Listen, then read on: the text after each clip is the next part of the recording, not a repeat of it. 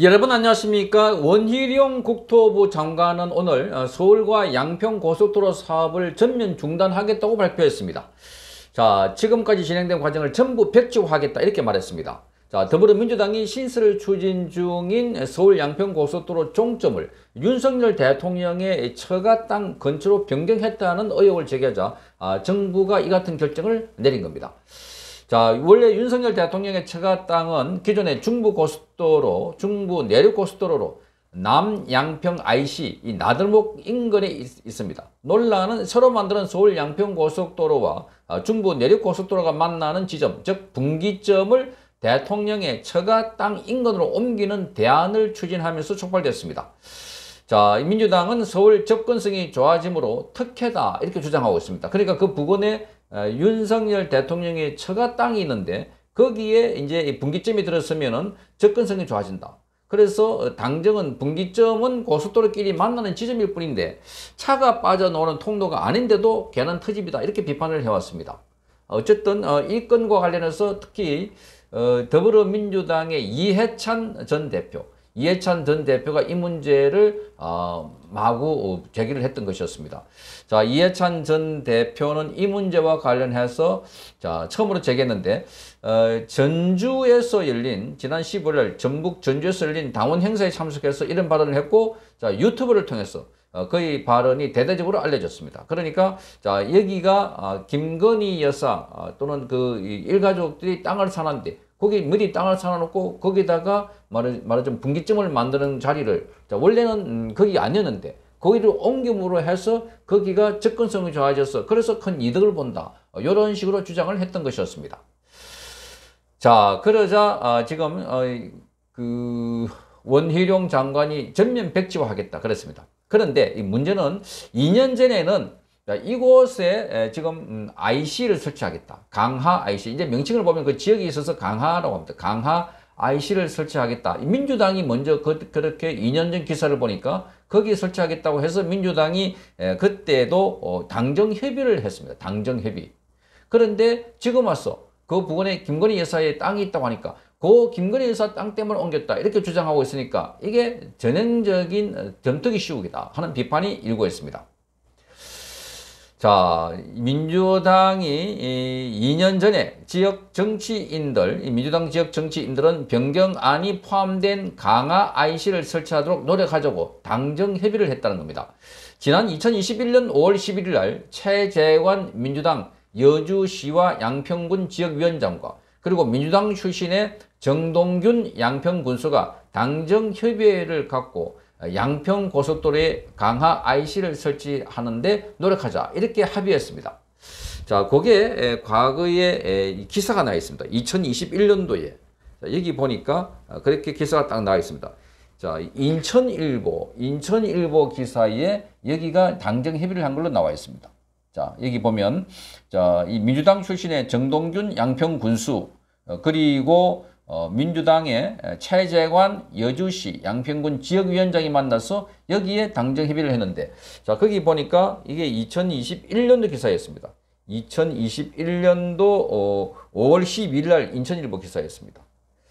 자 거기 보면 이렇게 자 여기 보면은 어, 제가 표시해놨는데 여기가 주요 현안으로는 고속도로 건설에 강하 IC를 설치한다 이렇게 되어 있습니다. 양평 고속도로에 강하 IC를 어, 설치한다. 서울 양평 고속도로 강화 IC. 이 강화 IC라는 데가 지금 바로 어, 이 일을 안 해서 맨 처음에 계획했던 데에서 옮겨가지고 여기 IC를 만든다고 하니까 이게 이제 갑자기 김건희 여사 땅 부근이다. 이렇게 해가지고 지금 공세를 펴고 있는 겁니다. 그런데 2년 전에 더불어민주당에서 당정 협의를 해가지고 여기 IC를 만든다. 이렇게 협의를 했던 것이었습니다. 자, 교통 여건과 지역 발전, 이걸 좀 다시 크게 보면 이렇습니다. 고속도로 건설에 강하 IC, 고속도로 건설에 강하 IC 설치한다. 이게 당장 협의를 한 겁니다. 강하. 자, 그래서 교통 여건 개선하고 지역 발전에 최대한의 효과를 발휘하기 위해서 세부 노선 조정에 당정의 네트워크를 총동원해 가지고 주민들의 요구 사항을 최대한 반영하도록 하자. 이렇게 합의를 했다고 합니다. 자, 이런 합의와 관련해서 어, 정군수는 이렇게 말합니다. 국민을 위한 당의 행보에 감사드린다. 적극 협조와 소통으로 국민과 함께 더 행복한 양평, 오늘보다 내일이 더 기대되는 양평을 만들겠다. 이렇게 그 당시 밝혔습니다. 자, 최 위원장은 당과 중앙정부 그리고 시도의원과 협의해서 지역 주민의 수건 사업이 조기에 추진될 수 있도록 최선을 노력을 다하겠다. 이렇게 밝혔습니다. 자, 그런데 이들이 합의한 강화 IC 설치는 기존 안에는 반영되기 어렵고 그래서 고속도로 노선이 강화면에 지나지 않기 때문에 그래서 기존대로라면 고속도로는 한강 이쪽인 양서면을 지나간다고 합니다. 양서면. 자, 이로인해서 기존 안대로 고속도로를 건설하면은 이름은 양평 고속도로인데 양평에는 IC가 만들어지기 어렵다는 우려가 양평 지역 정치인들 사이에서 나와서 그래서 이게 민원이었다고 합니다. 자, 이러한 우려는 정군수 뒤를 이어서 양평 군수에 부임하게 된 국민의힘 소속의 정진성 양평 군수도 어, 그때도 우려를 드러냈습니다. 자, 이 전진선 군수도 지난달 28일 양평생활문화센터에서 열린 서울 양평간 고속도로 개통 후에 양평의 미래 정책 세미나에 참석해서 이렇게 말했습니다.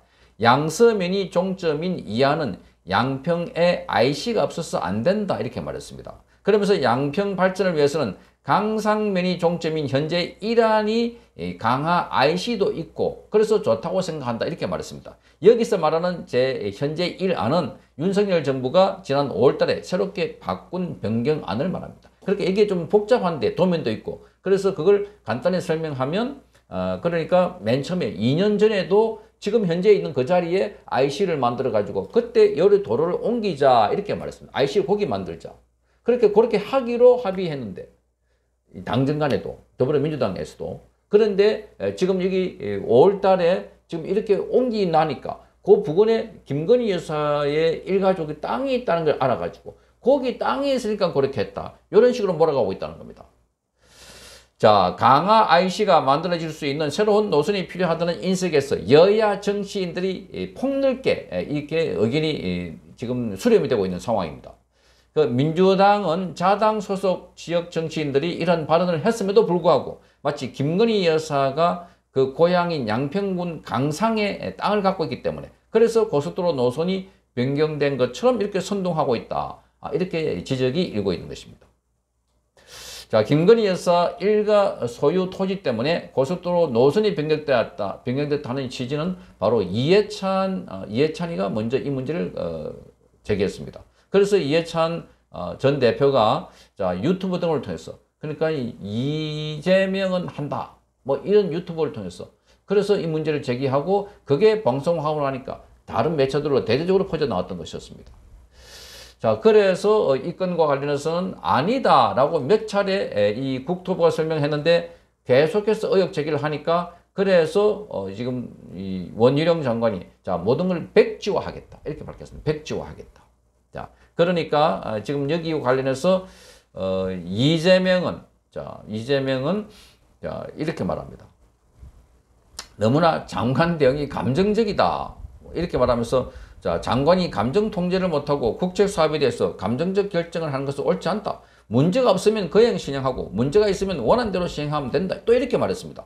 그러니까 의혹을 실컷 제기해가지고 곳곳에서 이 김건희 여사 때문에 그렇다 이렇게 해놔놓고 문제가 없으면 그냥 시행하고 문제가 있으면 원한대로 시행하면 된다. 이렇게 말하고 있습니다. 그러니까 아니면 말고식이 아닌가. 자, 이걸 보면 어, 지금 김건희 여사와 걸려 있는 것 있으면 무조건 밀어붙이면 김건희 여사가 약한 골이라고 생각하는지 계속해서 공세를 펴고 있습니다. 어, 그러니까 이 원희룡 장관도 그야말로 아예 백지를 하겠다. 그러면서 하는 말이 자 민주당 내가 이 사안을 대해서 어, 틀리면 나를 고발하라. 그리고 어, 틀리면 내가 정치 생명을 걸겠다. 장관직을 걸겠다. 이렇게 말했습니다. 더불어서 그러면 민주당이 틀렸다고 하면은 민주당은 자 그러면 간판을 내려라 이렇게 말했습니다. 간판을 내려라. 그러니까 이 건과 관련해서 그 누구로부터 로비를 받은 적도 그 누구로부터 부탁을 받은 적도 없다. 이렇게 강조했습니다. 그런데 2년 전 2년 전 기사를 보니까 민주당도 당론으로 정해가지고 여기에 지금 어, 정부가 만들려고 하는 그 IC 쪽에 거기에 만드는 거를 지역 정치인들과 지역 주민들이 염원 사업이다라고 당정 협의까지 한 사실이 드러나고 있어서 자 이게 이미 지역 주민들의 의견을 받들어 가지고 이렇게 추진했는데도 불구하고 어, 그런데 김건희 여사 일가족 땅이 있다고 해서 몰아붙인다 하는 비판이 강하게 제기되고 있습니다. 무조건 어, 몰아붙이고 어, 김건희 여사 관련돼 있다 하면 비리, 부정 이런 게 있다고 몰아세우고 있는 더불어민주당 이번에도 그 행태를 버리지 못하고 있습니다. 성창경 TV였습니다.